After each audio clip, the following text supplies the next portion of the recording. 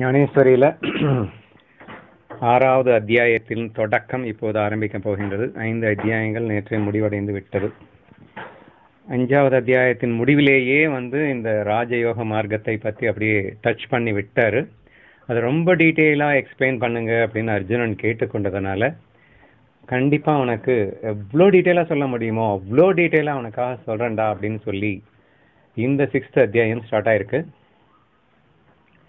Start பண்ணும்போது இந்த ராஜயோக மார்க்கத்தை டச் பண்ணுறதுக்கு முன்னாடி நிறைய விஷயங்களை பற்றி நம்ம அதுக்கு முன்னாடியே அனலைஸ் பண்ணுறாரு ஸோ எடுத்து எடுத்த உடனேயே ஃபஸ்ட்டு ஸ்லோகமே அதுல ஸ்டார்ட் ஆயிடுது ஸோ நிறைய விஷயங்களை நம்ம புரிஞ்சுக்க வேண்டியது இருக்குது அதுக்கப்புறம் தான் இந்த ராஜயோக மார்க்கத்தினுடைய ஸ்லோகமே ஸ்டார்ட் ஆகும். இப்போ இன்னைக்கு பார்த்தீங்கன்னா குரு வந்தனம் எப்போவுமே எந்த ஒரு அத்தியாயம் ஆரம்பிக்கும் போதும் குருவை நினைத்து கொண்டுதான் குருநாதர் ஆரம்பிக்கின்றார். அதிலும் குறிப்பாக இந்த ஃபீல் பார்ட் ஆஃப் தி சஞ்சயம் திருதராஷ்டிரம் இது எல்லாமே நமக்காகத்தான். ஒவ்வொரு இடத்துலையும் ஃபீல் பார்ட் எதுக்காக அப்படின்னா நாம் எத்தனை பாக்கியம் செய்தவர்கள் நாம் எத்தனை புண்ணியம் செய்தவர்கள் என்பதை நாம் உணர்வதற்காகவே அந்த ஒரு ஃபீல் பாட்டை ப்ரெசென்ட் பண்ணுறாரு அப்படிங்கிறது தான் ரொம்ப ரொம்ப முக்கியம். இப்போ நான் படிக்கிறேன் உங்களுக்கே புரியும் கேளுங்கள்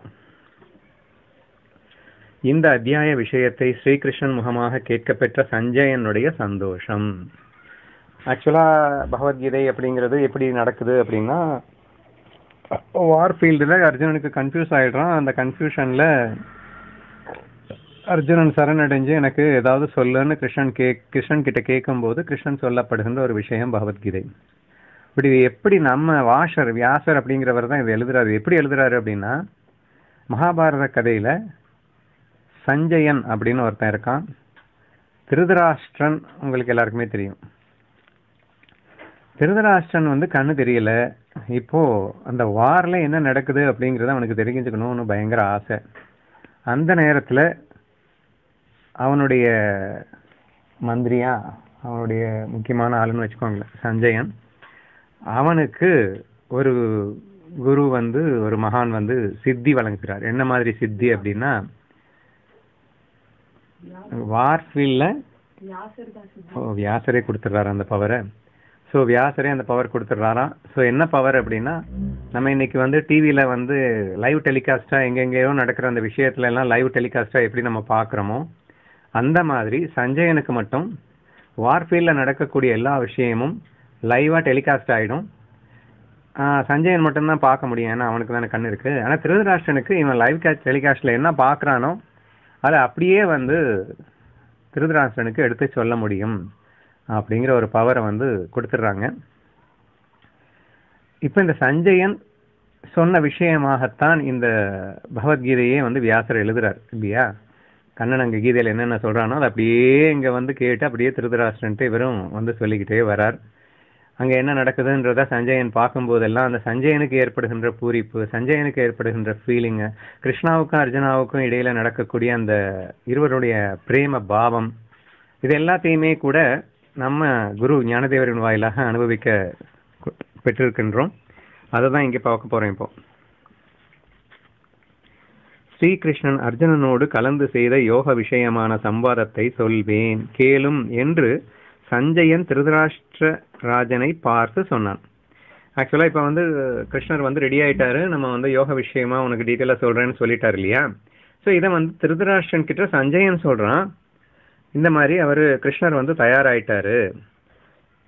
அந்த விஷயத்தை அர்ஜுனனுக்கு சொல்ல போன அந்த விஷயத்தை நான் உங்ககிட்ட சொல்ல போறேன். கேட்கறதுக்கு நீங்க ரெடியா இருங்க அப்படின்னு சொல்லிட்டு உற்சாகம். ஏன்னா இப்போ சஞ்சயன் பயங்கர எக்ஸ்ட்ரீம் உற்சாகத்துல இருக்கான். ஐயோ செம்மையான ஒரு விஷயம் நான் கேட்க போறேன்டா. அர்ஜுனனுக்கு நிமித்தமாக நான் கேட்க பெற்றேனே என்று ஒரு மிகப்பெரிய ஆனந்தத்தில் இருக்கின்றான் சஞ்சயன்.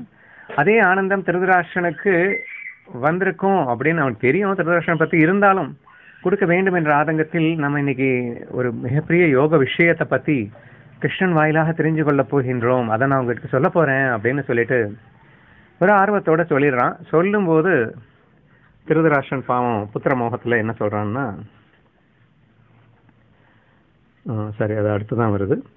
சோ பார்த்து சொன்னான் ஸ்ரீகிருஷ்ணன் அர்ஜுனனுக்கென்று பிரம்ம ரஷத்தை கொண்டு விருந்தூட்டி வைத்தான். ஆக்சுவலாக ஆக்சுவலாக வந்து கண்ணன் வந்து அர்ஜுனனுக்காக சொன்னது அப்படிங்கிறது பகவத்கீதை கிடையாது கிடையாது. நமக்கு நமக்குன்னு அடிக்கடி சொல்லிட்டு இருக்கேன் இல்லையா? அதை தான் இங்க எடுத்து சொல்றாரு. அர்ஜுனனுக்கென்று பிரம்ம ரஷத்தை கொண்டு விருந்தூட்டி வைத்தான். அந்த சமயத்தில் விருந்தாடிகளாக நாமும் வந்து சேர்ந்தோ ஆக்சுவலா யாரோ ஒருத்தருக்காக விருந்து வைப்பாங்க. அந்த விருந்துக்கு நாம போனா கூட நமக்கும் போட்டு சேர்த்து தானே அந்த விருந்தை போட போறாங்க? அந்த மாதிரி கிருஷ்ணன் அர்ஜுனனுக்காக விருந்து சமைச்சு வச்சிருந்தா கூட அவன் கூட சேர்ந்து விருந்தாளிகளாக நாமெல்லாம் வந்திருக்கோம். இங்க நாமம் என்பது சஞ்சயன் திருதராஷ்டிரன் மட்டுமல்ல ஞானேஸ்வரி படித்துக் கொண்டிருக்கின்ற இப்போது இங்கே கேட்டுக்கொண்டிருக்கிற அத்தனை பேருமே என்று புரிந்து கொள்ள வேண்டும். ஓகேவா விருந்தாளிகளாக நாமும் வந்து சேர்ந்தோம். நம்முடைய பாக்கியமே பாக்கியம். தாகம் எடுத்த ஒருவன் ஜலத்தை குடிக்கப் போக அந்த ஜலமே வாயில் பட்ட மாத்திரத்தில் அமிர்தமாகி விட்டார் போலல்லவா இப்போது நமக்கு நேர்ந்திருக்கின்றது. எக்ஸ்ட்ரீம் தாகத்தில் அப்படியே தவிச்சிட்டு இருக்கான். எங்கடா தண்ணி கிடைக்கும் தண்ணி கிடைக்கும் அப்படின்னு தவிச்சிட்டு இருக்கும்போது தானாவே வந்து தண்ணி அவன் வாயில பட்டதுன்னா அவனுக்கு என்ன ஃபீல் இருக்கும்? நல்ல பாலைவனத்தில் அப்படியே வறண்டு இருக்கும்போது அந்த தண்ணி கிடைச்சது அப்படின்னா அது எவ்வளோ மோசமான தண்ணியாக இருந்தாலும் அவனுக்கு அமிர்தமாக தெரியும் இல்லையா? அந்த மாதிரி நம்மலாம் ஞான தாகத்தில் இருக்கும்போது கண்ணனே நமக்காக வந்து இப்படி ஒரு விஷயத்த சொல்கிறான் அப்படின்னா அது நமக்கு அமிர்த மாலி அல்லவா? அப்படிங்கிற அந்த ஃபீலிங் எல்லாம் இதெல்லாம் சஞ்சயனுடைய ஃபீலிங் ஆக்சுவலாக கேட்டுருக்கிற நம்மளுடைய ஃபீலிங் அப்படி இல்லைன்னாலும் அப்படி இருக்க வைக்கணும்னு நம்ம குருநாதர் எடுத்துக்கொண்ட முயற்சின்னு சேர்ந்து புரிஞ்சுக்கணும். என்னங்க பண்ணி தொலைக்கிறது? ஒவ்வொரு விஷயத்துலையும் இன்ட்ரெஸ்டே வரமாட்டேங்குது. இப்போ ரஜினி விஷயத்தில் இன்ட்ரெஸ்ட் வரலைன்னா அந்த ரசிகர்கள் கூட்டத்தில் இருந்து அவன் மேலே அப்படியே திருப்பி திருப்பி அவன் பேச்ச சொல்ல சொல்ல சொல்ல இன்ட்ரெஸ்ட் தானாக வர்ற மாதிரி. இந்த ஞான விஷயம் எப்பேற்பட்டது இதை அனுபவிக்கும் பாக்கியம் எப்பேற்பட்டதுன்னு கேட்க கேட்கவாவது அதில் இன்ட்ரெஸ்ட் வரட்டுமே என்று நினைப்போடு அந்த சஞ்சயனுடைய ஃபீலிங்கை இங்கே ப்ரெசென்ட் பண்ண வேண்டிய அவசியம் என்ன? நல்லா யோசிச்சு பாருங்க. சஞ்சய் என்ன ஃபீல் பண்ணா? நம்ம தெரிஞ்சுக்கிட்டு என்ன ஆக போகுது அப்படின்னு இல்லை. சஞ்சயனுடைய ஃபீலிங் தாண்டா சூப்பர். ஃபீலிங்கு அந்த ஃபீலிங்கில் நாம் இருக்கணும் அப்படி. உங்களுக்கு ஃபீலிங் வரணும் வரலைன்னா வர வைங்க. Create and interest even if you don't have it is such a precious thing அவ்வளோ ஒரு ஒரு அற்புதமான விஷயம். அந்த ஃபீலிங்கை நீங்கள் அடைய வேணா ஒரு ஃபீலிங்கை நம்ம பேச பேச அதை சொல்ல சொல்ல ஆட்டோமேட்டிக்காக கேட்குறவனுக்கு அந்த ஃபீலிங் வந்துடும் இல்லையா? அப்போது நீங்களே சொல்லுவீங்க நான் கிருஷ்ணா ஃபீல் வந்து நான் பேசும்போது நான் என்ன அனுபவிக்கிறேனோ அதை நீங்கள் அனுபவிச்சிடுறீங்க. ஆனா அது உங்களுக்கே அனுபவிக்க தெரியல. நீங்களா அனுபவிக்கலாமே அது வரமாட்டேங்குதுன்னு நீங்க பேசா நாங்க அனுபவிக்கிறோம் அப்படின்னு நீங்க சொல்ற மாதிரி நமக்காக நம் குருநாதர் அந்த ஃபீல் பாட்டு நமக்குள்ள வரலைன்னாலும் வர வைக்கிறதுக்காக கொண்டு வர முயற்சி தான் இது அப்படிங்கிறத புரிஞ்சுக்க முயற்சி பண்ணுங்க. ஓகேவா ஸோ அமிர்தம் மாதிரி நம்ம ஃபீல் பண்ணணும் இந்த இடத்துல. ஓகே அமிர்தமாய் விட்டாய் போல் அல்லவா இப்போது நமக்கு நேர்ந்திருக்கிறது. ஏனென்றால் மனசால் கிரகிக்க முடியாததான பிரம்ம ஞானம் நம் உள்ளங்கை பிடியில் சிக்கி போய்விட்டது. அப்போது திருதராஷ்டிரன் இது உன்னை நான் கேட்ட விஷயம் அல்லவே என்றான். சோ இதுல இன்னொரு பாயிண்ட் பாருங்க. மனசால் கிரகிக்க முடியாததான பிரம்ம சாஸ்திரம். அந்த சாங்கிய யோகம் என்று அழைக்கப்படுகின்ற அந்த விஷயத்தை வந்து த்ரூ மைண்ட் மூலியமா அனாலிட்டிக்கல் பவர் மூலியமா நம்ம அண்டர்ஸ்டாண்ட் பண்ணிக்கணும் அப்படிங்கிற ஒரு விஷயம் வந்து சாங்கிய யோகம். பட் இப்போ நம்ம படிக்க போற அந்த ராஜயோக மார்க்கம் அப்படிங்கிற விஷயம் வந்து நமக்கு எந்த அண்டர்ஸ்டாண்டிங் பவருமே தேவையில்லை. நம்ம இன்டலெக்டே தேவையில்லை புத்தியே தேவையில்லை மனசே தேவையில்லை அறிவே தேவையில்லைன்னு கூட சொல்லலாம். ஸோ எதுவுமே தேவையில்லை. ஏன்னா இந்த மனசை நம்ம வந்து க்ளீன் பண்ண போறோம் மனசுக்கே தெரியாமல் ஸோ சச்ச ஒரு இம்பார்ட்டண்ட்டான பாத்து அப்படிங்கிறதுனால மனசால் கிரகிக்க முடியாததான பிரமையான இப்போ உள்ளங்கை பிடியில் சிக்கி போய்விட்டது. ஆனால் கிடைச்சிருச்சு. மனசை தொந்தரவே பண்ணாம மனசை சுத்தப்பணம் போடைய அற்புதமான ஒரு விஷயம் என் கையில் கிடைச்சிருச்சு. உள்ளங்கையில் கிடைத்து விட்டது அப்போது ஸோ இவ்வளோ இது இது வந்து யாரோட ஃபீலிங்கு சஞ்சயனுடைய ஃபீலிங் நமக்கு இருக்க வேண்டிய ஃபீலிங்கு ஆனால் திருதராஷ்டிரன் ஃபீலிங் நமக்கு வந்துடக்கூடாதுன்றதுக்காக திருதராஷ்டிரன் ஃபீலிங்கையும் இங்கே சுட்டி காட்டுறாருன்னா பார்த்துக்கோங்களேன். நம்ம ஞானதேவருடைய ஸ்பெஷாலிட்டியே அதுதான். இப்படி இருக்கணும் இப்படி இருக்கக்கூடாது. அது ரெண்டையும் சே- சேர்த்து சேர்த்து சேர்த்து சொல்லணுன்றது அவ்வளோ பிரியம். திருதராஷ்டனுடைய ஃபீலிங் தெரிஞ்சுக்கிட்டு நமக்கு என்ன ஆக போகுது அப்படின்னா அந்த ஃபீலிங் நமக்கு வந்துடக்கூடாதுன்றதுக்காக திருதராஷ்டனுடைய ஃபீலிங்கை இங்கே ப்ரெசென்ட் பண்ணுறாரு இது உன்னை நான் கேட்ட விஷயம் அல்லவே என்றானா எப்படி? இவ்வளோ ஃபீலிங்கோட ஒருத்தன் ப்ரெசென்ட் பண்ணிட்டு இருக்கான். திருதராஷ்டிரன் சொல்கிறான் ஆமாண்ணா இப்போ நான் இதெல்லாம் கேட்டனாடா உன்ட்ட அப்படின்னு. இதை கொண்டு சஞ்சயன் அரசனுடைய மனசு தன் குமாரனுடைய சமாச்சாரம் தெரிந்து கொள்வதிலேயே ஏற்பட்டிருக்கிறது என்று தெரிந்து கொண்டு மனசிலே வியப்படைந்து இக்கிழவன் அஞ்ஞானத்தால் கேடுற்றவனாயல்லவா இருக்கின்றான். இதெல்லாம் இந்த மாதிரி நம்ம திருதராஷ்டிரன் ஃபீலிங்கில் நம்ம இருந்தோம்னா நமக்கு ஒரு குட்டு வைக்கிறாரு அப்படின்னு நினச்சிக்கணும் சரியா? ஸோ ஞானதேவருடைய அன்பாக அவர் தடவி கொடுப்பதும் அடித்து நமக்கு சொல்லிக் கொடுப்பதும் அவருடைய ஸ்பெஷாலிட்டி சரியா? இங்கே கிழவன் குருட்டு கிழவன் என்று சொன்னது அஜ்ஞானத்தில் இருக்கக்கூடிய நம்ம எல்லாத்தையும் சேர்த்து. ஞானத்தில் இன்ட்ரெஸ்ட் இல்லாதவனுடைய எல்லாத்துக்கும் சேர்த்து. அப்படின்னு நம்ம புரிஞ்சுக்கணும். மனசில் வியப்படைந்து இக்கிழவன் அஞ்ஞானத்தால் கேடுற்றவனாய் அல்லவா இருக்கின்றான்? சஞ்சயன் மனசுக்குள்ள நினைச்சுக்கிறான். என்னடா நம்ம என்ன ஃபீலிங்ல இங்க பேசிட்டு இருக்கோம்? இவன் என்னடான்னா தன் குமாரனுடைய சமாச்சாரம் வாரில் என்ன நடந்ததுன்ற விஷயத்தை தெரிஞ்சுக்கிறதுல மட்டுமே குறியா இருக்கானே. அடுத்து என்ன நடக்க போகுதுன்றதை மட்டும் சொல்லணும்னு நினைக்கிறானே. இங்க என்ன ஒரு அற்புதமான விஷயம் நடந்துட்டு இருக்கு இதை பத்தியே அவன் கேர் பண்ணிக்கலையே அப்படின்னு சொல்லிட்டு எவ்வளவு பெரிய அஜ்ஞானம் என்று அவனை மனசுக்குள் திட்டிக்கொள்கிறான். இல்லாவிட்டால் இப்போது நடக்கும் சம்பாதத்தால் எவ்வளவோ லாபத்தை அடையக்கூடுமே அல்ல கூடுமே. அப்படி இல்லாம அந்த அஜ்ஞான இருட்டில் அவன் இல்லாம ஞானத்துல இருந்திருந்தான்னா என்ன ஒரு அற்புதமான விஷயங்க நடக்க போகுது? இதனுடைய பெனிஃபிட் அவன் அனுபவிக்கலாமே? அதை விட்டுட்டு அவனுக்கு இதில் இன்ட்ரெஸ்ட் இல்லாமல் இருக்கே என்று எண்ணி அப்புறம் என்ன சொல்றது?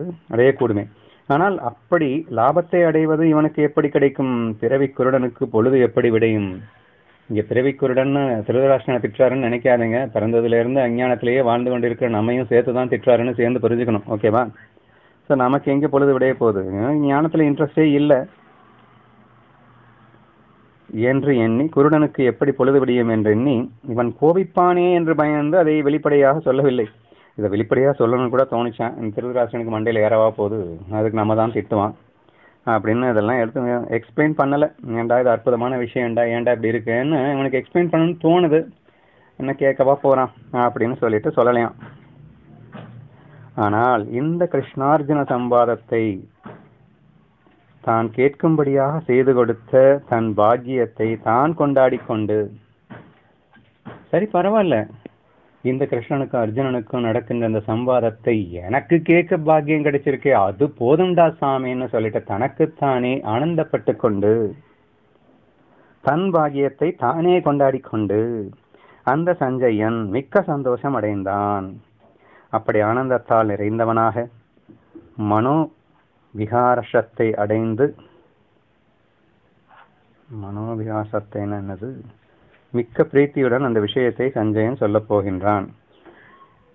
ஆனந்தத்தால் நிறைந்தவனாக சந்தோஷம் அடைந்து மிக்க பிரீத்தியுடன் அந்த விஷயத்தை சஞ்சயன் சொல்லப் போகின்றான் அப்படின்னு வச்சுக்கோங்க. ஓகேவா? பார்க்கடலை கடைந்த பின் அமிர்தம் வெளிப்பட்டது போல இந்த ஆறாவது அத்தியாயத்தில் கீதார்த்தத்தின் சாரம் அமைந்திருக்கிறது. அதாவது பார்க்கடல் கடைகிறது அப்படின்றது நீங்கள் கதையை கேள்விப்பட்டிருப்பீங்க.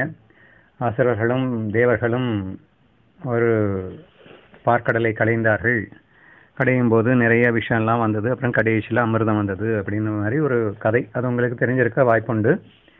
இப்போ இந்த எக்ஸாம்பிள் ஏன் கோட் பண்ணுறாரு அப்படின்னு சொன்னால் அவ்வளோ கஷ்டப்பட்டு கடைசியில் அமிர்தம் கிடைச்சிருச்சு இல்லையா? அந்த அமிர்தத்தை டைரக்டாக இங்கே ஞானதேவர் நமக்கு கொடுக்குறாரு. எல்லா யோக சாஸ்திரங்கள் எல்லாத்தையும் கடைஞ்சி எடுத்து அதனுடைய சாராம்சமான அந்த அமிர்தத்தை நமக்காக இந்த ஆறாவது அத்தியாயத்தில் தரப்போகிறாரு அப்படின்னா நம்ம எவ்வளோ புண்ணியம் பண்ணியிருக்கணும் அப்படின்னு நம்ம சிந்திச்சு பார்க்கணும். அமிர்தம் வெளிப்பட்டது போல் இந்த ஆறாவது அத்தியாயத்தின் கீதார்த்தத்தின் சாரமும் விவேக கடலின் அக்கறையும். இதுக்கு மேலே விவேகமே தேவையில்லை.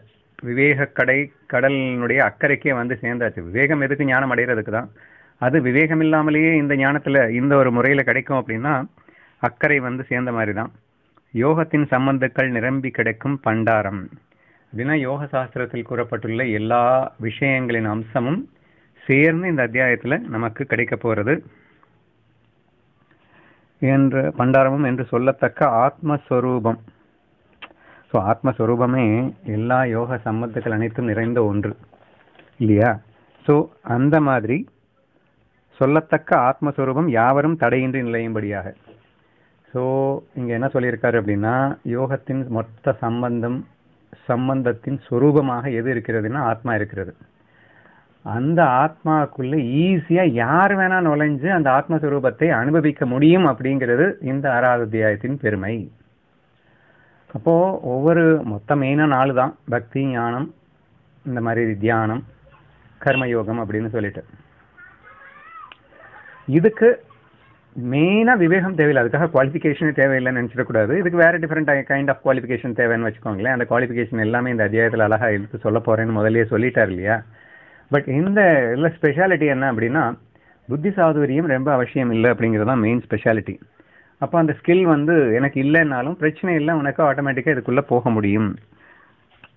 அப்போ அறிவாளிகள் மட்டும்தான் ஞானம் அடைய முடியுமா அப்படின்னு சொன்னால் அது லிமிட்டட் ஆகிடுது பட் இங்கே அறிவே தேவையில்லை அப்படின்னா அப்போ யார் வேணா அடையலாம்ல அப்படிங்கிற ஃபீலை இங்கே மென்ஷன் பண்ணியிருக்காரு.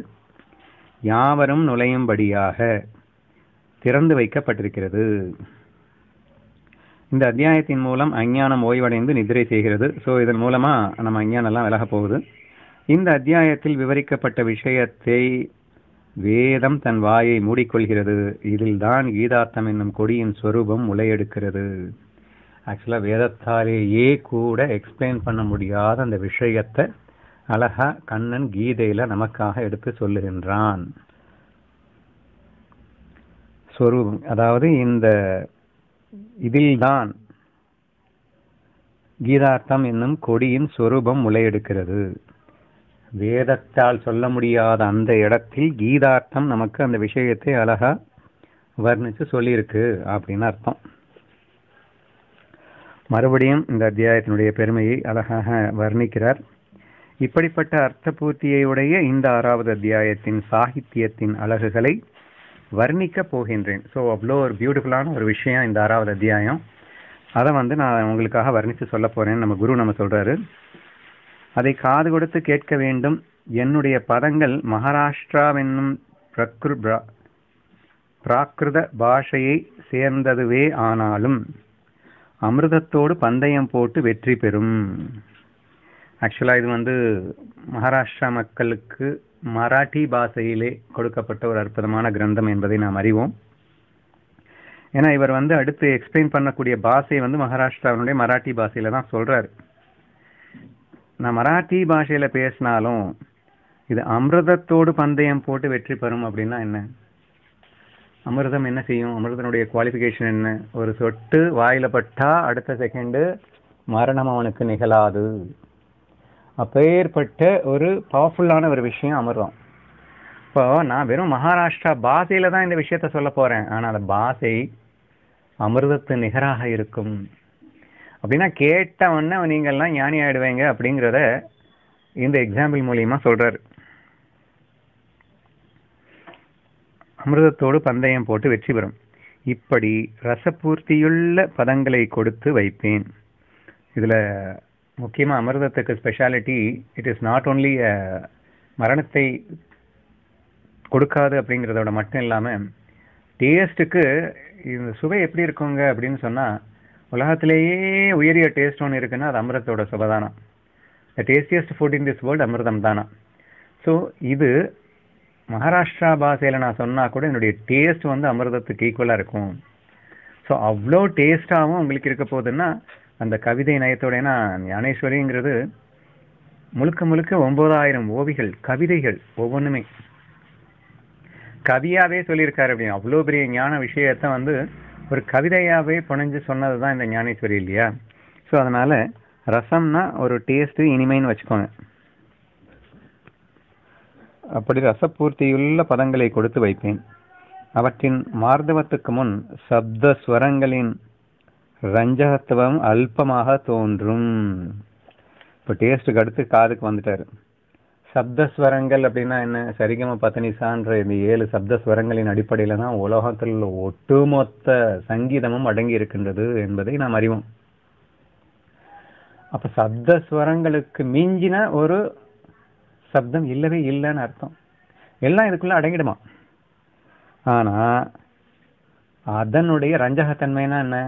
ஒரு எகெயின் ஒரு ஸ்வீட்னஸ் அழகு அல்லது ஒரு ரம்யம் எப்படி வேணா எடுத்துக்கோங்க. சப்தஸ்வரங்களின் ரஞ்சகத்துவம் அல்பமாக தோன்றும். அப்போ இவர் பேசக்கூடிய இந்த பேச்சு இந்த கவிதை இது. சங்கீதம் தோற்று போகும் தோற்றுப்போகும் தோற்று போகும் அப்படி நான் உங்களுக்கு சொல்ல போறேன். அன்பார்ச்சுனேட்லி இதெல்லாம் நம்ம அனுபவிக்க முடியாது.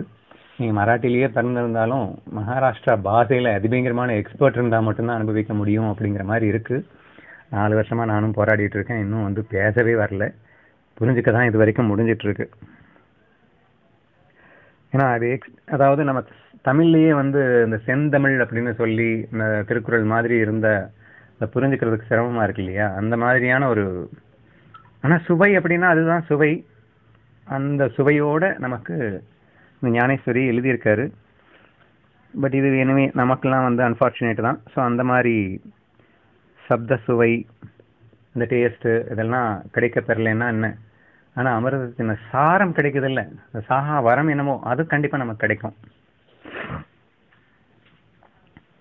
அவை பலாத்காரமாய் எப்படி மனசை ஆக்கிரஷித்து அதை மயங்க கிடக்க செய்யுமோ அப்படி செய்து வைக்க உத்தமமான பரிமளங்கள் கூட சக்தியற்றிருக்கும்.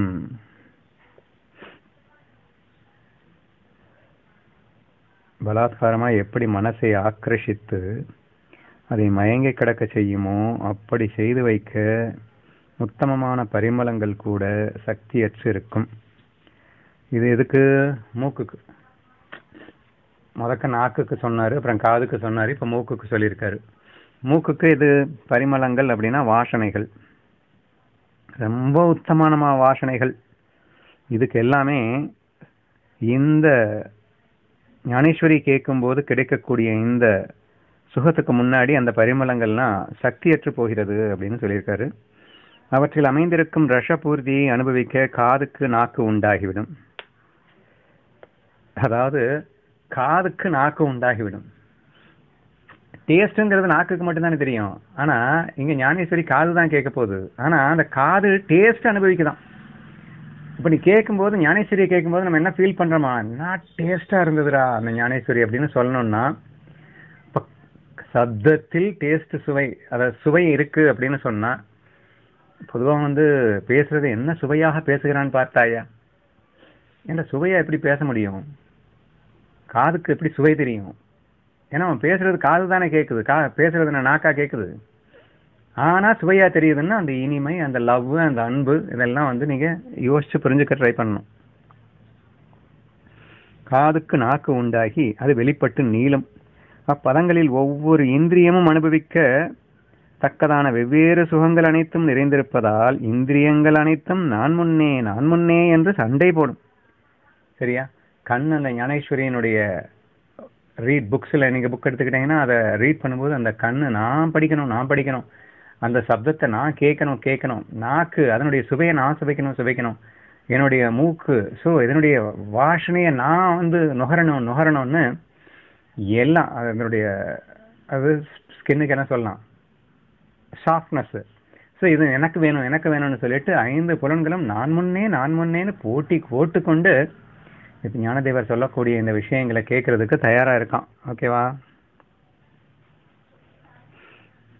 இந்த சாகித்யம் சப்த ரூபமாகையால் இயற்கையாக காதுக்கே விஷயமே ஆனாலும் மறுபடியும் அதை டீட்டெயில் எக்ஸ்பிளைன் பண்ணுறது பாருங்கள் என்னங்க வெறும் காது மட்டும் தானே கேட்கும்? அஞ்சு புலன்னு ஏங்க சொல்றீங்க? அப்படின்னு நீங்கள் கேட்டுருவீங்களாம் அதுக்கு மறுபடியும் எக்ஸ்பிளைன் பண்ணுறாரு இயற்கையாகவே காதுக்கே விஷயமானாலும் நாக்கானது இதில் ரசம் இருக்கிறதே. ஆகையால் இது என் விஷயமாயிற்று என்று சொல்கிறது. இதில் டேஸ்ட் இருக்குப்பா. அதனால் இது எனக்கு தான்ப்பா சொந்தம்னு நாக்கு சொல்லுதான். மூக்கு தன் விலை தன் விஷயமான பரிமளம் அதில் இருக்கிறது என்று சொல்கிறது. இதில் என்ன வாசனை இருக்கு? ஆஹா இது என்ன இது என்னோட விஷயம்தான். அப்படின்னு ஞானேஸ்வரிங்கிறது மூக்கோட விஷயமாக மூக்கு சொல்லுதான். அப்படி ஒரு வாசனை ஞானேஸ்வரியில் இருக்கான். இந்த சாகித்யத்தில் ரூப அழகு இருக்கின்றது என்று அவ்வழகை அனுபவித்து திருப்தி அடைய வந்த கண் இது ரூப அழகுதான். எல்லாம் அடைந்து கிடக்கும் கனி என்று சொல்ல சொல்கிறது. கண்ணு சொல்லுவேன் ஆ அதெல்லாம் கிடையாதுப்பா. ஞானேஸ்வரியும் வந்து ஏன் கண்ணுக்காக கொடுக்கப்பட்டது? எல்லா உலகத்துல உள்ள எல்லா அழகும் ஒட்டுமொத்தமா சேர்ந்து இருக்காக்கும் இல்ல இல்ல ஞானேஸ்வரி என்னுடைய விஷயம் அப்படின்னு சொல்லி கண்ணு சொல்லிச்சான். பதங்கள் எல்லாம் ஒன்று சேர்ந்து ஒரு வாக்கியம் வெளிப்பட்ட மாத்திரத்தில் அவ்வாக்கியத்தின் அர்த்த அழகை அனுபவிக்க மனசு வெளிப்பட்டு வந்து தன் கைகளால் சப்தத்தை ஆலிங்கனம் செய்து கொள்ளப் போகிறது. இப்படி எல்லா புலன்களையும் அனுபவிக்க போறதுனோ மனசு தானே ஸோ மனசு வெளிப்பட்டு வந்து அப்படியே கட்டி பிடிச்சுக்குதான் எதை?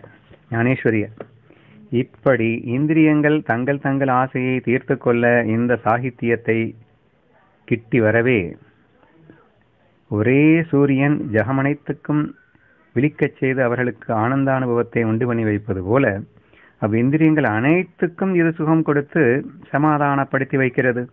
இந்த சாகித்யம் ஆச்சரியப்படத்தக்க இப்படி ஒரு வியாபக தத்துவத்தை பெற்று இதன் அர்த்தத்தை அறிந்தவர்களுக்கு அவர்கள் வேண்டிய சுகத்தை அனைத்தையும் கொடுக்கும் சிந்தாமணி ஆகிறது இவ்விஷயத்தில் இவ்வளவு சொன்னது போதும்.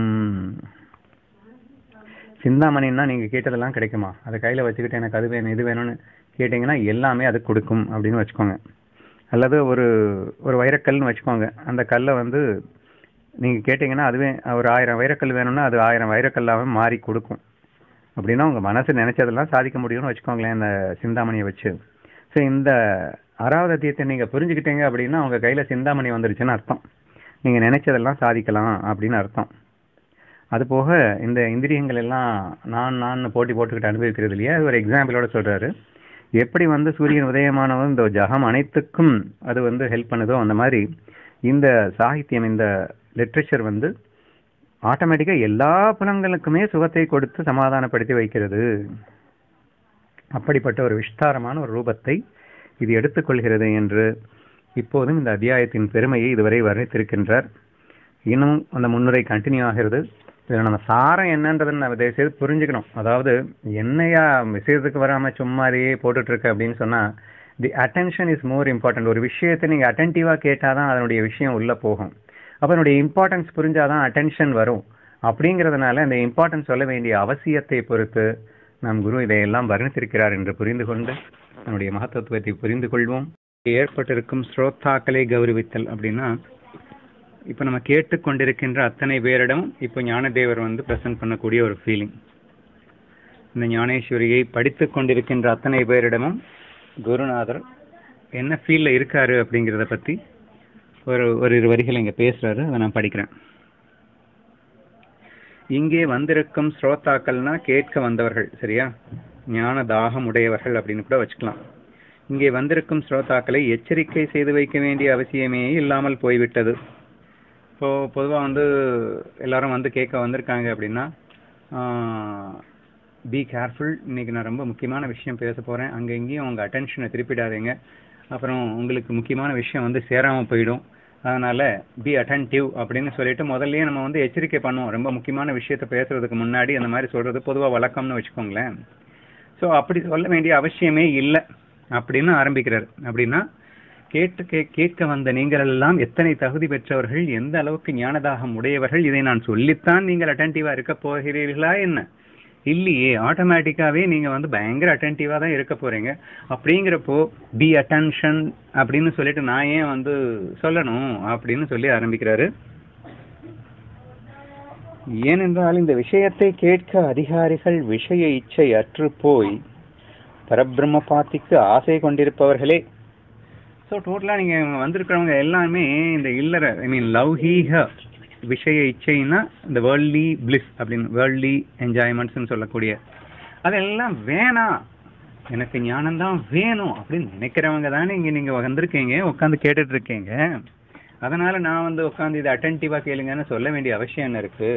You got an all qualification to listen அப்படின்னு சொல்லி எவர்கள் ஆத்மஸ்வரூப ஞானத்தில் ஆசை வைத்து அதன் அதன் திருஷ்டி தோஷம் கழிந்து போவதற்காக ஐஹிஹா முஸ்கிஹா அப்படின்னா இம்மை மறுமை சுகங்களை சுற்றி போட்டு விட்டார்களோ? அதாவது ஏற்கனவே சொன்ன விஷயத்தையே கொஞ்சம் எலாபரேட் பண்ணுறாரு ஞானத்தின் மேலே ஆசை வைத்து. ஆசை வைத்த மாத்திரத்தில்னா அந்த ரெண்டு விஷயமே ரொம்ப ரொம்ப முக்கியங்க. பல இடங்கள்ல ஞானதேவர் சொல்லியிருக்காரு நீ ஞானி ஆகணும் அப்படின்னு ஆசைப்பட்டுட்ட அப்படின்னா உலக சுகத்தை நீ தியாகம் பண்ணிடணும். தியாகம் உலக சுகம் எனக்கு வேணாம்னு சொல்லிடணும். சின்ன சிற்றின்ப வேட்கையை நீ விட்டாதான் பேரின்ப பேரின்பத்தை உன்னால அனுபவிக்க முடியும். நான் இதை விடமாட்டேன்னு சொல்லிக்கிட்டு நீங்க வரணும்னு நினைச்சேன்னா இது வந்து ஒரு முட்டாள்தனமா இருக்கு லூசுத்தனமா இருக்குன்னு பல இடங்கள்ல சொல்லியிருப்பாரு. சூசகமா இங்க அழகாக வெளிப்படுத்துறாரு பாருங்களேன். ஞான ஆசை உடையவர்கள் அப்படின்னு சொல்லும் போதே நீங்க விஷய சுகத்தை திருஷ்டி சுற்றி போட்டு விட்டீர்கள். இம்மை மறுமை முதல் இம்மைனா இப்போ இந்த உலகத்துல அனுபவிக்க வேண்டிய சுகம். மறுமைனா நிறைய பேர் வந்து இந்த யாகம் அதெல்லாம் வளர்ப்பாங்க. நான் அடுத்த சொர்க்கத்துல போயிட்டு என்னென்னலாம் அனுபவிக்கணும் அப்படின்னு எல்லாம் சொல்லிட்டு. ஸோ இந்த மாதிரி புண்ணியங்களை சேர்த்து வச்சுக்கிட்டு அடுத்து வரக்கூடிய விஷயங்கள்ல வாழ்க்கையிலையும் நான் அனுபவிக்கணும் அப்படின்றதுக்காக அனுபவிக்கப்படுகின்ற அந்த சுகங்கள் இருக்கு இல்லையா? அதை வந்து இம்மை மறுமை சுகங்கள் அப்படின்னு சொல்லியிருக்காரு. ஸோ இந்த இம்மை மறுமை இந்த உலகத்துல அல்லது இனிமே வரப்போகிற எல்லா சுகமுமே வேணாம் அப்படின்னு திருஷ்டி போட்டு சுத்தி போட்டுட்டு வந்துட்டாங்களாம். எப்போ ஞான ஆசைக்கு ஆசைப்பட்ட மாத்திரத்திலேயே அது ஆட்டோமேட்டிக்கா நடந்துருச்சு அப்படிங்கிறாரு. அவங்க திருஷ்டி சுத்தி போட்டாதான் ஞானத்துக்கு ஆசையே வரும் அப்படிங்கிறாரு. அப்படின்னு ஞானதேவர் சொல்றாரு நமக்கு அப்படி இருக்கா அப்படின்றத நம்ம தான் என்ஷூர் பண்ணிக்கணும். ஏன்னா நமக்கெல்லாம் லேட் ஆகிட்டு இருக்கிறதுக்கு என்ன காரணம் அப்படின்னா ஞானத்துல நமக்கு எவ்வளவு தாகம் இருக்கோ அதே அளவுக்கு அந்த சைட்லயும் ஒரு தாகத்தை வச்சுக்கிட்டு தான் இருக்கும் அப்படின்னு நான் நினைக்கிறேன். பட் இங்க ஞானதேவர் வந்து கேட்க வந்தவங்களை ரொம்ப என்கரேஜிவா பேசுவார். ஒவ்வொரு இடத்துல இருந்தும் நைன்த் அத்தியாயத்துலலாம் பார்த்தீங்கன்னா அப்படி ஒரு என்கரேஜ்மெண்ட் கேட்க வந்தவங்களுக்கு. ஸோ இங்கேயும் வந்து இந்த கேட்க வந்தவர்களை மிக உயர்வாக பார்த்து உங்களுக்கெல்லாம் வந்து விஷய ஆசையே இல்லாமல் ஞானதாக மட்டுமே இருக்கு அப்படின்னு அவரே டிக்ளேர் பண்ணி ஆரம்பிக்கிறாரு. இம்மை மறுமை சுகங்களை சுற்றி போட்டு விட்டார்களோ அவர்களை தவிர மற்றவர்கள் இந்த விஷயத்தை ருசியை அறியார்கள். ஸோ அந்த மாதிரி யார் பண்ணியிருக்காங்களோ அவங்களுக்கு தான் இப்போ நான் சொல்ல போற அந்த கிரந்தத்தின் ருஷி தெரியும். மற்றவர்களுக்கு இந்த ருசி தெரியாது. அப்படின்னா இங்க இந்த கேட்க வராதவங்களுக்கு இந்த ருசி தெரியாது அப்படின்னு சொல்றாரு.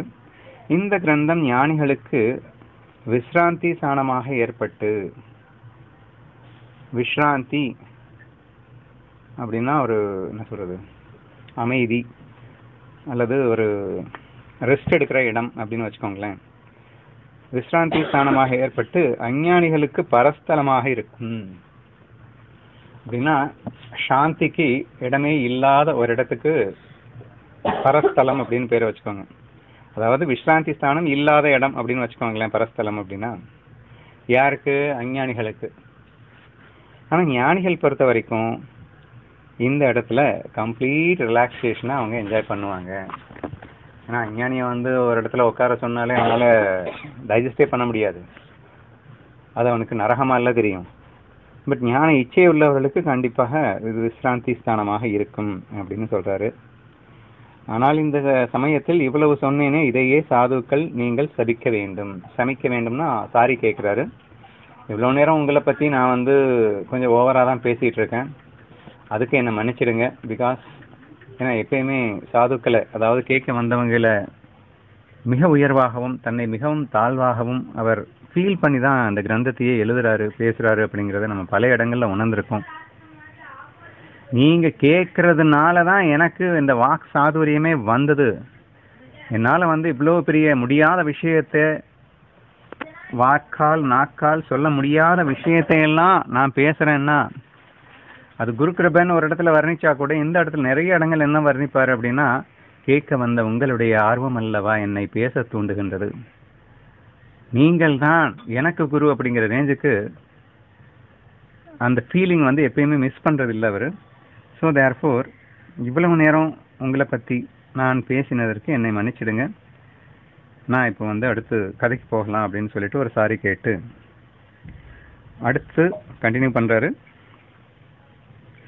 யோக முறைகளை வர்ணிப்பது அசாத்தியமே ஆயினும் குருகுரபியால் சாத்தியமாற்று ஏன்னா இங்க கர்மயோகமாகட்டும் பக்தி யோகமாகட்டும் ஞான யோகமாகட்டும் it can be easily explained and make others அண்டர்ஸ்டாண்டுங்க இந்த ஆறாவது அத்தியாயத்தில் இருக்கக்கூடிய ஒரு டிஃப்ரெண்ட்டான ஒரு பெரிய தலைவலி என்னென்னா இது நம்ம வந்து டைரெக்டாக நம்ம மைண்டை கேப்சர் பண்ணக்கூடிய கலை அல்ல இன்டைரக்டாக கேப்சர் பண்ணக்கூடிய ஒரு கலை.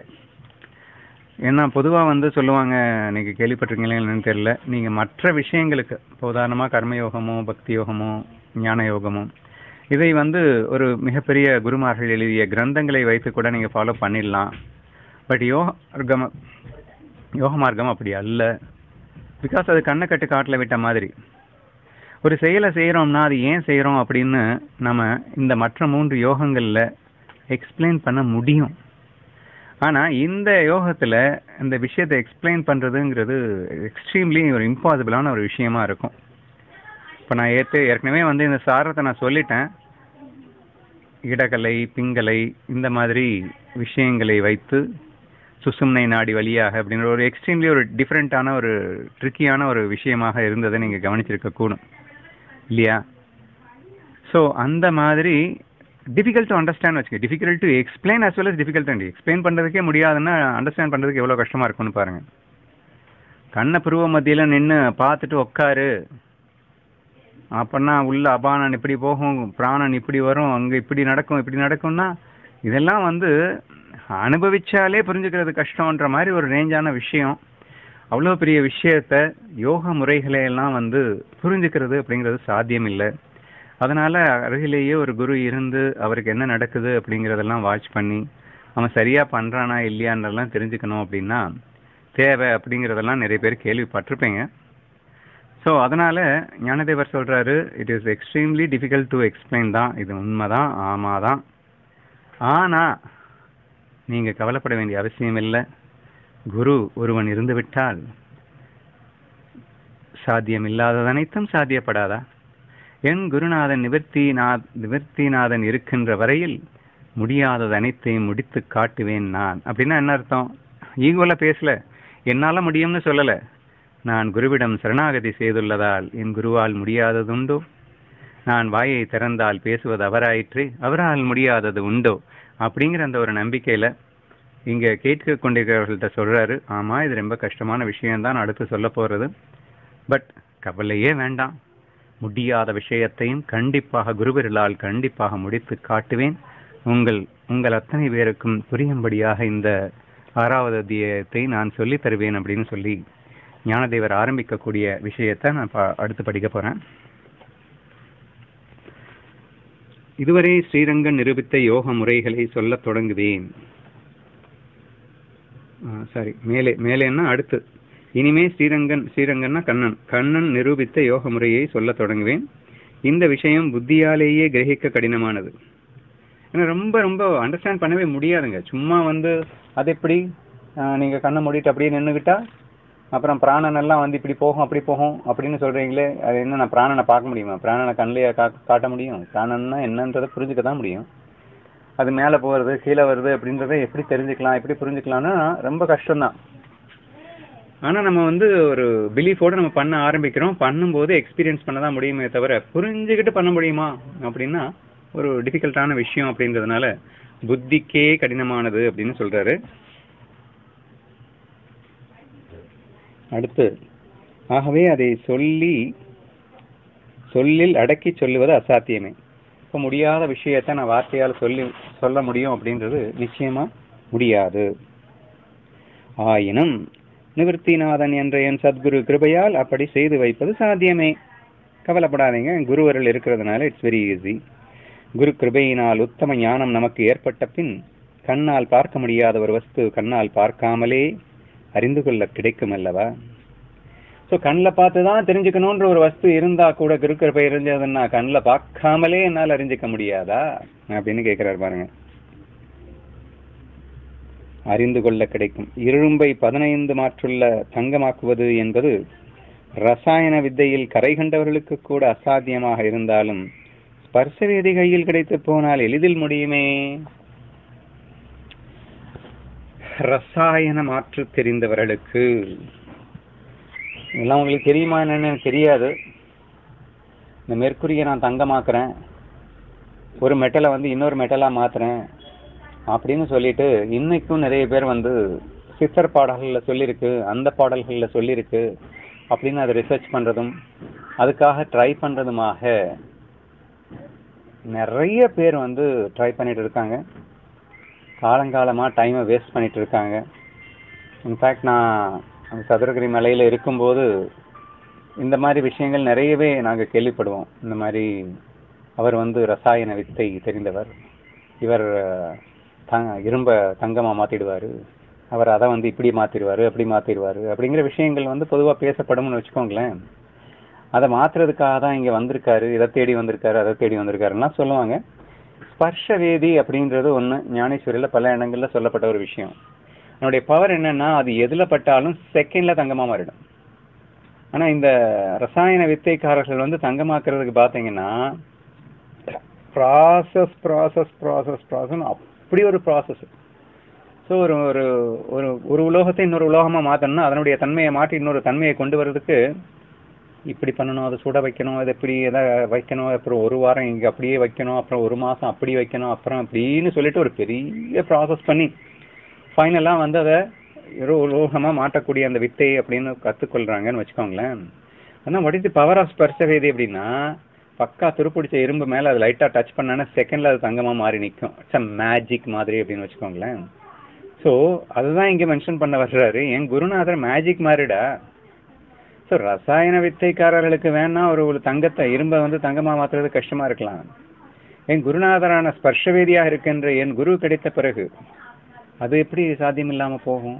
அப்படின்னா இந்த ஆறாவது அத்தியாயத்தை விளக்குறதுக்கு கஷ்டம்தான். ஆனால் கையில் என் குருநாதரான ஸ்பர்ஷவேதி இருக்கே முடியாததை முடித்து காட்டும் கண்டிப்பாக அந்த சக்தி அதை கண்டிப்பாக செய்து காட்டும் அப்படின்னு அந்த எக்ஸாம்பிளுக்காக இதை சொல்லியிருக்காரு. அப்படியே சத்குரு கிரேபை கிடைத்த பின் எதை செய்ய ஆரம்பித்தாலும் அது முடிவு பெறுவதில் தடையில்லை. ஆகையால் சொல்லால் சொல்ல முடியாததை சொல்லால் சொல்லிக் காட்டுவேன். நிராகார வஸ்துவை ஆகாரமுள்ளதாய் காட்டி வைப்பேன். ஸோ ஸ்ட்ரைட்டவே அதெல்லாம் கேட்கும்போது எவ்வளோ சந்தோஷமா இருக்கு பாருங்க. சொல்லால் சொல்ல முடியாததை சொல்லி காட்டுவேன் அப்படின்னு சொல்லிட்டு சொல்லும்போது நிராகார வஸ்துவை ஆகாரமுள்ளதாக காட்டி வைப்பேன். நிராகாரம்னா அதுக்கு உருவமே இல்லை. உருவம் இல்லாத புஸ்தகத்தை நான் புரிய வைக்க முடியும்னா புரிய வைப்பேன். அப்படின்னு சொல்கிறாரு ஒரு கு- அது என்ன சொல்கிறது ஒரு அட்ரிபியூட்ஸ்னு சொல்லுவாங்க ஆங்கிலத்தில். அதாவது குவாலிட்டிஸ்னு வச்சுக்கோங்களேன். அதுவே இல்லை. அப்படின்னு எப்படி புரிஞ்சுக்கிறதுன்னா புரிஞ்சுக்க முடியும். புரிஞ்சுக்க வைப்பேன். அப்படின்னு சொல்கிறாரு அந்த இந்த இடத்துல ஒரு சின்ன எக்ஸ்பீரியன்ஸை ஷேர் பண்ணுறேன் நான்.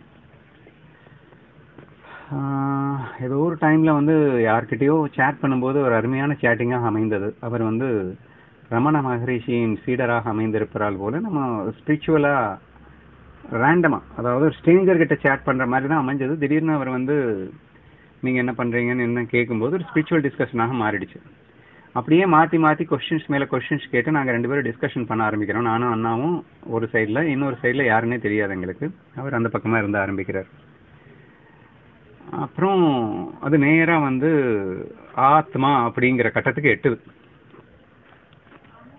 எது இது உண்மையா அது உண்மையா அப்படி இப்படின்னு போயிட்டு நேராக பரபிரம்மம் பரமாத்மா அப்படிங்கிற ஒரு கட்டத்துக்கு வந்து முடிஞ்ச உடனே அந்த சைடில் இருந்து இதுக்கு மேலே வி கெனாட் டிஸ்கஸ்ஸு பரமாத்மா அப்படிங்கிறதெல்லாம் வந்து வார்த்தையால் சொல்ல முடியாது.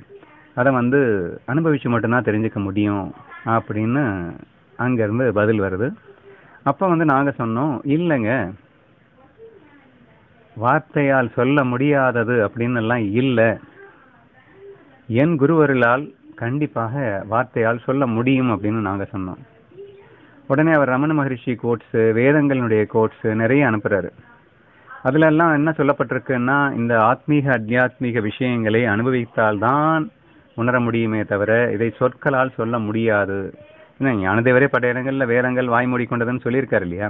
ஸோ இந்த மாதிரி அவ்வளோ தெளிவா எல்லா ஞானிகளே சொல்லியிருக்காங்க. பின்ன வந்து நீங்க வார்த்தையால நிரூபிக்க முடியும்னு சொல்றீங்களே அப்படின்னு சொல்லும்போது இல்லைங்க எனக்கு ஞானதேவருங்கிற குரு கிடைச்சிருக்காரு. அவரால சாத்தியப்படாதது எதுவும் இல்லை. அவர் எனக்கு அதை வார்த்தையாலேயே சொல்லி கொடுத்துருக்காரு. சொல்லால் சொல்லி எனக்கு அதை புரிய வைத்திருக்கின்றார். என்பதால் எனக்கு அந்த தகுதி வந்திருக்கிறது. என்னாலும் சொல்லால் சொல்ல முடியும் என்று அப்படின்னு சொல்லிட்டு இந்த சேட்டிங்கில் நாங்கள் கண்டினியூ பண்ணோம். அப்படியா? எங்கே நிரூபிங்க பார்க்கலாமே அப்படின்னு சொல்லும்போது நம்மளுடைய ஹையர் நாலேஜ்லேருந்து எல்லா விஷயங்களையும் ஷேர் பண்ணி ஸோ இப்படித்தான் நாங்கள் எனக்கு எங்கள் குருநாதர் சொல்லி கொடுத்திருக்கிறார். உண்மைதான். இதை அனுபவிக்க அனுபவித்து தெரிய முடிய அதாவது அனுபவித்து மட்டுமே தெரியக்கூடிய விஷயத்தை முன்னமேயே சொல்லிய பிறகும் கூட நாம் அனுபவிக்கவில்லை என்றால் அது நம்முடைய குற்றமே. ஆனால் அதை வார்த்தையாலும் என் குரு சொல்லி கொடுத்தார் என்பதே உண்மை என்று சொல்லி அந்த வாதம் சென்பது எனக்கு ஜஸ்ட் நினைவுக்கு வருது அப்படின்றத நான் சொல்ல வரேன். ஏன்னா இங்கே நம்ம குருநாதர் அவர் வாயால் சொல்லியிருக்காரு சொல்லால் சொல்ல முடியாததை நான் சொல்லி காட்டுவேன். எத்தனை பாகியம் பெற்றவர்கள் நாம்? இந்த ஞானேஸ்வரியை படிக்கிறவங்களுக்கு. ஸோ அது நம் குரு அருளால் நமக்கு கிடைத்திருக்கிறது இல்லையா? நிராகார வஸ்துவை ஆகாரமாக உண்டு பண்ணி காட்டுவேன். அதீந்திரியமானதை இந்திரியங்களால் உணரக்கூடியதாக செய்து தருவேன். இந்திரியங்கள் அப்படின்னா கண் காது செவி மூக்கு. ஸோ இந்த மாதிரி வெறும் ஏமா கண்ணில் பார்த்து புரிஞ்சுக்கலாம் காதில் கேட்டு தெரிஞ்சுக்கலாம் மூக்கால நுகர்ந்து தெரிஞ்சுக்கலாம். பட் ஆத்மா அப்படிங்கிறது அப்படிப்பட்டது அல்ல. உன்னது பஞ்சேந்திரியங்களால் அதை புரிந்து கொள்ள முடியாது. பட் அப்படிப்பட்ட வஸ்துவை உன் பஞ்சேந்திரியங்களை வச்சே புரிஞ்சுக்கிற மாதிரி நான் காற்றண்டான்னு நம்ம ஞானதேவர் சொல்லியிருக்காருன்னா. அப்படியே சொல்லியிருக்கார் பாருங்க. அதீந்திரியமானதை இந்திரியங்களால் உணரக்கூடியதாக செய்து தருவேன். கேளுங்கள். பகம் யசஸ் ஸ்ரீ செல்வம். ஔதாரியம். ஞானம். வைராகியம். இனி கிருஷ்ணனை அடுத்து வர்ணிக்க ஆரம்பிக்கின்றாரு. இது ஒரு டிஃப்ரெண்ட்டான ஒரு விஷயம். அதாவது யசஸ் ஸ்ரீ ஔதாரியம் ஞானம் வைராகியம் ஐஸ்வர்யம். சர்வ பிராணிகளையும் ஆளுகை ஐஸ்வர்யம்னா. தான் இவ்வாறு குணங்களுக்கு பகம் எனப்படும் என்று தொகுத்து சொல்லப்பட்ட ஆறு குணங்களுக்கு வாசஸ்தானமாயிருப்பதால் பகவான் என்று பெயர் பெற்று. ஆக்சுவலாக காடுக்கு ஒரு டெஃபினிஷன் சொல்கிற மாதிரி வருங்க. ஞானேஸ்வரியில் இந்த இடத்துல. ஆக்சுவலாக பகவான்னா யார் அப்படின்னு நம்ம வந்து கேள்வி கேட்டால் ஒரு ஒரு மாதிரியான ஒரு பிளிங்கிங் கொஸ்டின் வரும். எப்படி சொல்கிறது அப்படின்னு தெரியலையே அப்படின்னு சொல்லிட்டு.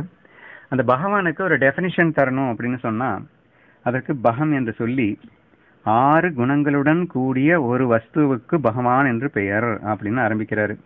அது என்ன ஆறு குணம் அப்படின்னு சொன்னா ஃபர்ஸ்ட் வந்து எஸ்எஸ் எஸ்எஸ் அப்படின்னா சக்சஸ் அப்படின்னு அர்த்தம். மராட்டியில எஸ்எஸ் அப்படின்னு சொன்னா சக்சஸ் அப்படின்னு அர்த்தம். அதாவது எப்- முழுமையான அதாவது கடவுளுக்கான டெஃபினிஷன் இது. எ கம்ப்ளீட் விக்ட்ரி எதிலும் வெற்றி அப்படின்னு வச்சுக்கோங்களேன்.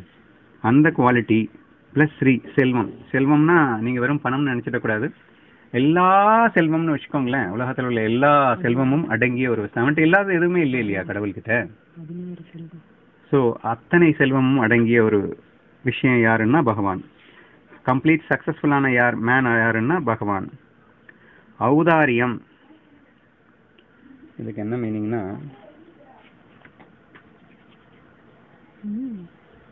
தாராளம். ஆக்சுவலாக நான் வந்து சிக்ஸ்த் அத்தியாயம் பேசியிருக்கேன்னு நினைக்கிறேன். அஹ், யூடியூப்ல அப்போ சொல்லியிருந்தது எனக்கு. இங்கிலீஷ்ல இங்கிலீஷ்ல சொல்லியிருக்கேன். ஔதாரியம் அப்படிங்கிறது கரெக்டாக இப்போ ஞாபகம் வரல. காருண்யம்னு வச்சுக்கோங்களேன். அதாவது அவனை விட ஒரு லவ் அவனை விட ஒரு கருணை அப்படிங்கிறது இந்த உலகத்துல யாருக்குமே இருக்க முடியாது. ஸோ அடுத்தவர்களுக்காக முழுமையாக தன்னை அர்ப்பணித்துக் கொள்ளுகின்ற ஒரு குணம் அப்படின்னு சொல்லலாம். ஸோ அந்த மாதிரியான ஒரு குணங்களுக்கு சொந்தக்காரன் பகவான். அடுத்து ஞானம் சொல்லவே வேணாம். அவனுக்கு தெரியாதது ஏதாவது இருக்கா? அனைத்தையும் அறிந்தவன். வைராகியம். விஷயப்பற்று இல்லாதவன். வைராகியம் அப்படின்னா ஏற்கனவே சொல்லியிருக்கேன். விஷயங்களிலே மயங்காதவன் விஷயப்பற்று எதுவும் இல்லாதவன். அனைத்தும் அவனாக இருப்பதால் அவனுக்கு எதுக்கு வி- விஷயம் பற்று வரப்போகுது? வைராகியம் ஐஸ்வர்யம். ஐஸ்வர்யம்னா இந்த இடத்துல வந்து சர்வ பிராணிகளையும் ஆளுகை அப்படிங்கிற ஒரு மீனிங்ல சொல்லியிருக்காரு. அதாவது அனைத்துக்கும் தலைவனாக இருத்தல். எல்லாம் பெற்றவர் அப்படின்னு சொல்லுவோம் இல்லையா? ஸோ அதனால ஐஸ்வர்யம். ஸோ இந்த ஆறு குணங்களுடன் ஒருவர் இருக்கின்றார் என்றால் அவருக்கு பகவான் என்று பெயர். ஸோ கிருஷ்ணனை வர்ணிக்கும் போது இப்படி ஒரு விஷயத்த சொல்லி வர்ணிக்கிறாரு. போற போக்கில் நமக்கு ஒரு டிஃப்ரெண்டான நாலேஜ் கொடுக்குறாருன்னு வச்சுக்கோங்களேன். இறைவனுக்கு டெஃபினிஷன் கொடுத்த மாதிரி. ஆறு குணங்களுக்கு வாசஸ்தானமாக இருப்பதால் பகவான் என்று பெயர் பெற்று விஷயங்களிலே பற்றற்றவர்களோடு ஒரு காலம் விலகாமல் கூடியிருக்கும். ஸ்ரீகிருஷ்ணன் கவனமாக கேட்க வேண்டும் என்று அர்ஜுனனை எச்சரிக்கை செய்து மேல் விஷயத்தை சொல்லத் தொடங்கினார். ஓகேவா ஸோ இந்த வர்ணனை யாருக்குன்னா கண்ணனுக்கு. ஸோ கண்ணன் எப்போதும் யார்கிட்ட கூட இருப்பான்னா பற்ற அற்றவர்களோடு ஒரு காலும் விலகாமல் கூட இருக்கின்றானா அந்த கண்ணன். எல்லாத்தையும் சூசகமா போற போக்குல சொல்லிட்டு போயிட்டே இருக்காரு.